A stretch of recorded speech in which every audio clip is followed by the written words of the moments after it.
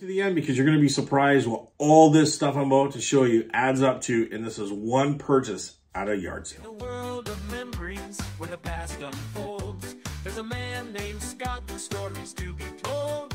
He sells antiques, vintage treasures so divine. On eBay and Etsy, where the sun and moon entwine. Scott sells stuff in the digital bazaar. From dusty attics to a worldwide bazaar. In his antique booth, where time takes a pause, he's the curator of dreams for a vintage car. All right, guys, so what we're going to show right now is I bought a Zenith Heathkit Hero 1 robot. ET18 is also a code for this, uh, like model number, something like that. So I really don't know, like, the intricacies about this. I do know that this was from the 1980s, and they made three different versions. They went from a junior and then the 2000. So this one I purchased was the initial first one. For R2-D2, Hero 1 is here. Hero is the first robot made by Heathkit, a subsidiary of the Zenith Company. On this day, he was showing some Virginia Beach 6th and 7th graders how robotics work. Hero can move and talk. Light sensor beams enable him to see, and sound sensors allow him to hear. He's basically a training computer on wheels, but he can be used as a watchdog of sorts. uh, might scare off a burglar because it does have a voice output. Uh, it also uh, could be hooked up to alert you. It could set off a siren. Uh, there are a number of things that you could do with it. Hero costs from 1,000 to $2,500, depending on whether you want him pre-assembled and the features you want. Although today's robots are mostly the industrial type, Jacob says they'll become more commonplace and cheaper. I think that you will see lots and lots of these. Uh, the cost is coming down greatly. People are going to be able to afford to have these in their houses. They're becoming sophisticated and they can actually begin to do things.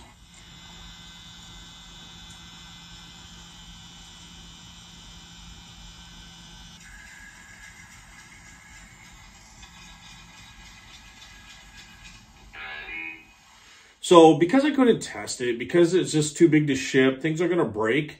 Um, it's just going to be a disaster. What I decided to do is to part it out, sell for parts repair, part it out, that kind of thing.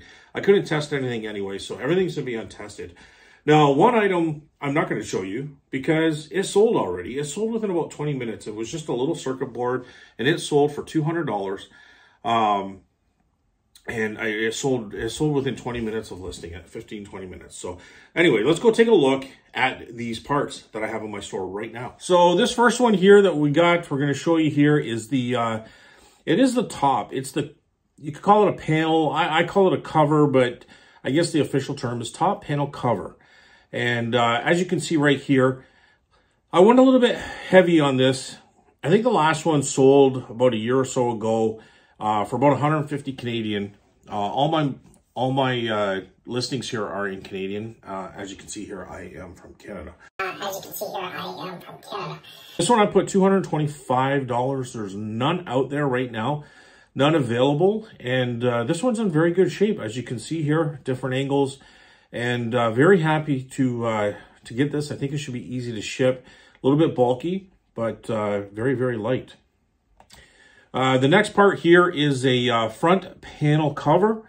And uh, looks like a couple of people are watching this one here, but I haven't had any bites or anything. I did sell a couple of offers for $194.95 to some watchers. Uh, again, I have this panel, which is in great condition. There's no cracks, there's no breaks or anything like that in these. They do show a little bit of aging. And I have $225 on this as well. But again, I'm probably anywhere from 175, 200. Like, I'd be pretty happy with that one here. So uh, this one here, I also have the back panel cover. Really nothing too much different here than the uh, front. Uh, just different holes and stuff. But it still has the advertising. And uh, all, all these are very clean, uh, no breaks. So um, this next uh, thing I've got here is $125. And this is, again, untested. But this is a charging unit. And as you can see here, it does power on. So I'm going to assume it's probably working. Um, everything seems to be pretty good. Uh, it's very clean. I, I did wiped off some dust. That's really all I did.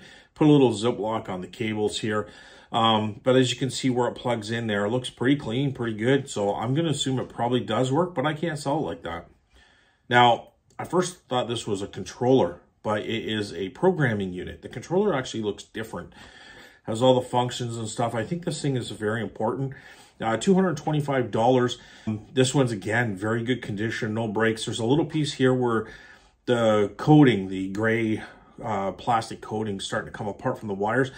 But I'm only assuming so. When you actually look at the plug, it may never have meant to have uh, gone all the way down there, right? So maybe there's another piece to cover it up. I, th I think this is the most most expensive part. This is the one that everybody is going after. And it's got the heaviest price tag for sure. But I think these things are a lot of times broken. So let's go take a look at this. So we're looking at the Heathkit Hero uh, robot arm. Again, this is untested, parts and repair. I cannot test it, but I am selling this one a little bit heavy here because I'm also selling it, as you can see here in the photo, with the motor. A lot of pe people sold the uh, motor separately, or they've left it on the uh, the top cover piece because uh, it does bolt in. But I'm selling the bracket and the motor and everything uh, part of this. So I bumped it up, and it has sold for this price in the past. Uh, it did have a line through it, so maybe they settled around $600. Um, but I have $650 on this right now, and uh, everything is pretty good and clean. Now, there are a couple of places here, as you can see, where somebody put a zip tie because the where the screw would go in there, uh, it, did, it, does, it did break. Um, but that's a very minor thing in my mind. And there's also another part here uh, you can see where somebody put one of those plumbing bracket things as you can see here, um, it is a USA made product. So that should help as well. But uh, really very clean, very good shape. But I'm not. I'm going to just beef it up a little bit here. You get the whole enchilada, the whole thing, all grouped up together for one low, low price of $650 Canadian.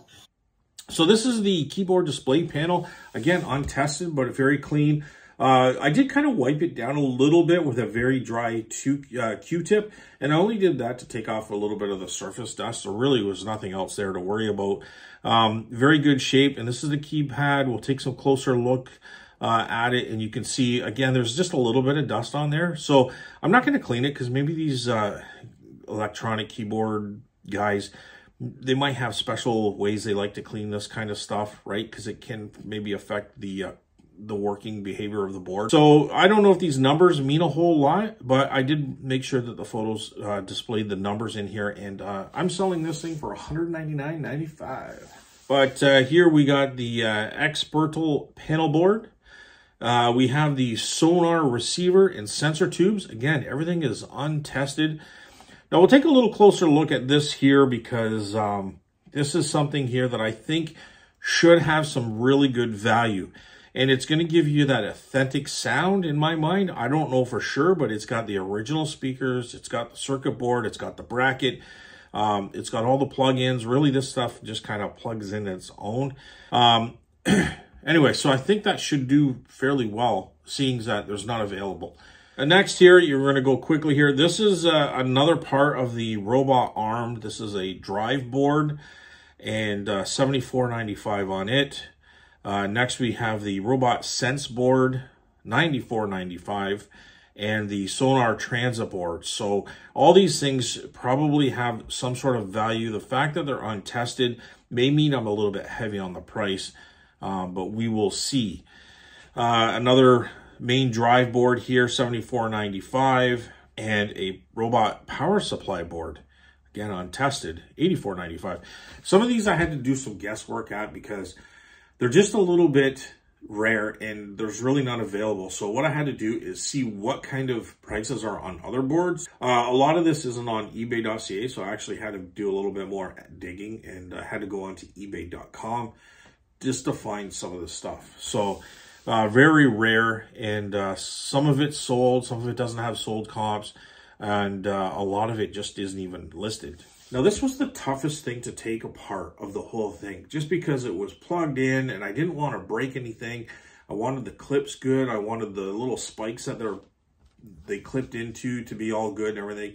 And I happened to manage to do that. I think only one wire was kind of snipped. Um, but it's not really a big deal because they'll just fix that. That's what these guys do, right? So anyways, this is the wiring harness, 194.95. Uh, I also put in the bracket for this because it really does, I, I didn't want to mess around too much and start separating them. I just thought, here's the whole wiring harness. There you go.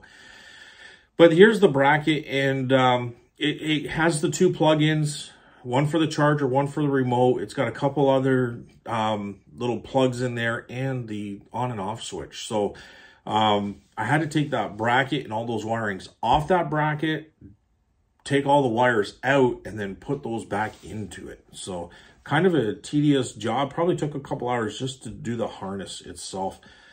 Um, there's another circuit board, the robot, I guess it's an I.O. board, um, but this kind of is inside of it.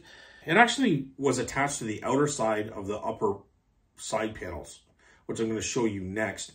Um, it's the top portion. I took it off because it was an exterior circuit board, but you're going to see in the next item, I left the interior circuit board with it. So now here we got here, we got the two things that are left. And this is the top panel. It has the motor. And again, it's untested, but it does have the motor where that top spins. And I think that's very important. And I'm going to say it probably works. Everything's very, very clean. And uh, it's got all the wiring. I left a couple of the wires plugged in and I just unplugged a couple of the other wirings that go that were kind of attached to the uh, the wire harness itself. And uh, I just left them in there. So they'll have to reattach it if they ever get the wire harness. So I did see this go for over $400 Canadian with the wire harness in there. But they also sold the bottom piece with part of the wire harness and to me, they were all a mess. I don't know how to work this. I don't want to spend time learning on it. So I took the whole wire harness, sold it separately, which other people have done as well. And I left this to the bare shell. Um, other than, as you can see in this picture here, I did leave the circuit board, the inner circuit board there. I just didn't want to start taking that apart and then just just to me it's just going to be this whole thing 324.95 i did base it on the one that sold for like 411 canadian. Um but that other one had the wire harness still on it. But the main part for me uh, in my mind is it still has the motor. So if that works i think 324.95 is, is a good deal. And last but not least on this uh Heathkit hero robot uh, hero one robot um is the bottom bracket. And this one also comes with the motor. This motor drives a front tire. Now there's three tires on this, as you can see in this photo. Uh, three tires and uh, the motor up top, which drives it. I also heard, I heard that uh, some people are modifying these things a little bit. They're putting a bigger motor on so that it moves faster. I also heard that some people are making them remote control. And uh, that doesn't surprise me. I think that's probably a very interesting way to do it. As you look here, very clean on the back. Uh, the wheels, obviously they got a little bit of dirt on them, but or anything like that. So as you can see there, the motor, um, all also a USA uh, product. And uh, I think everything in here is pretty clean and pretty good. So I think this should be desirable. Uh, 344.95 on this, just because it does have the drive motor and the tires. Um, not that it's any worth any more than the other. I, I really don't know. Um, I just feel if you need it to go anywhere, this is the part you're going to need more than the other parts. I don't know. Anyways, guys, I uh, hope you liked the episode here. I just wanted to share with you. Uh, here's a grand total. Ba-boing. If I sell everything for what I'm asking, what it could come to. Till next time, just Scott Sell Stuff.